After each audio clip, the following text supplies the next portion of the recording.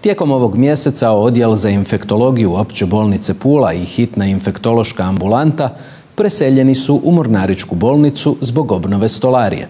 A sada je na red došla i sanacija prilaza ovom bolničkom odjelu, koju izvodi poduzeće Cesta DOO Pula.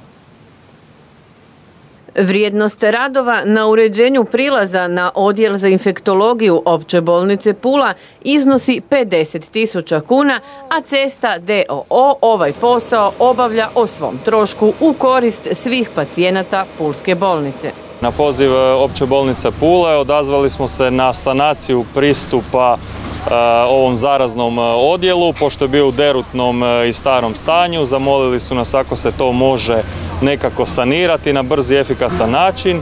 Došli smo evo, da omogućimo svim pacijentima grada Pula i Istarske županije što lakši i bezbolniji pristup zaraznom odjelu.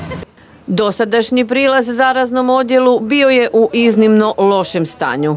Vidi se stari asfalt, popucan, derutan, rupe, pri svakoj kiši vjerojatno sve to zapliva. Vidjeli smo da je stanje nepodnošljivo, ajmo reći, za pacijente i evo, izvadili smo kompletan stari asfalt, malo uredili podlogu i asfaltirat će se danas novi, novi asfalt i pristup će biti puno lakši i jednostavniji. Radovi traju već dva, tri dana, biti će završeni danas, a veliko zadovoljstvo zbog toga iskazala je ravnateljica opće bolnice Pula Irena Hrstić. Kad smo krenuli u obnovu stolarije koja je bila stvarno prilično derutna, Onda smo razmišljali na koji način da uspijemo još i malo asfaltirati pa smo uputili apel cestama Pula koje su stvarno bez pogovora pristupili i odlučili nam to napraviti u okviru donacije.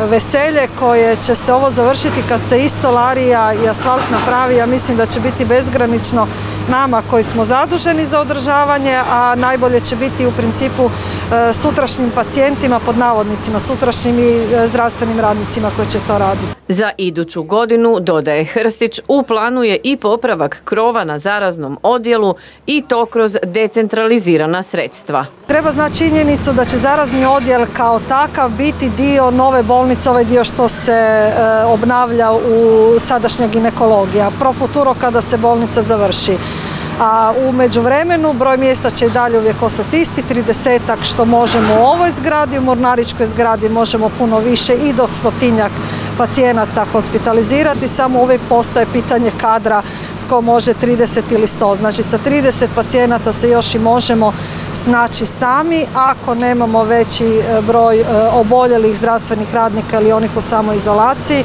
Tako da svaki dan nam je u principu vrlo intenzivan za organizaciju rada.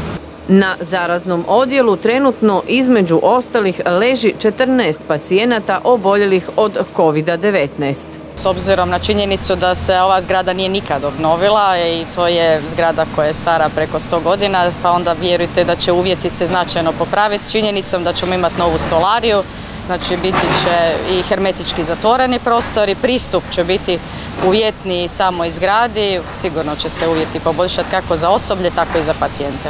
Obnova odjela za infektologiju od iznimnog je značaja za svo medicinsko osoblje.